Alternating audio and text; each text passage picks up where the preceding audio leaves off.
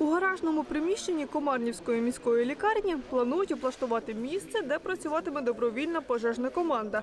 Майбутнім рятувальником буде водій, який працює у лікарні. Відповідно до того, я буду рахуватися, ну, як то правильно сказати, я буду водієм пожежної машини, буду мати свій там, наприклад, екіпаж. Плюс немає роботи, я буду виконувати роботу іншого, типу, попри поліклініку, що нам треба на господарстві робити. Добровільна пожежна команда функціонуватиме на базі міського комунального підприємства. Пожежну автівку передасть сусідня громада.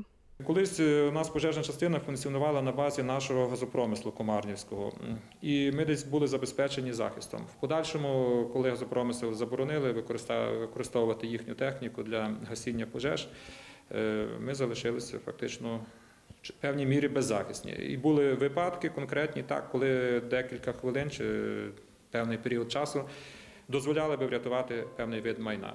Приміщення, де облаштують пожежну частину, має підведені необхідні комунікації. Планують, що у штаті бригади будуть від 4 до 6 працівників. Попередньо вони будуть проходити навчання.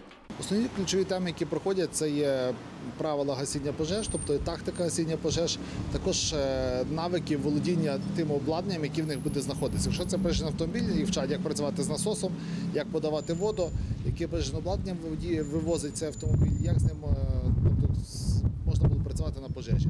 А далі ці навчання йдуть протягом всієї роботи їхньої на цій посаді, тому що кожен день практично пожежники тренуються, в них є графік розроблених занять. Загалом на Львівщині працюють 39 добровільних пожежних бригад. Вони допомагають погасити полум'я, поки приїдуть основні сили рятувальників. Іван Кадусько, Володимир Стадник та Олег Греб. Суспільне новини Львівщина.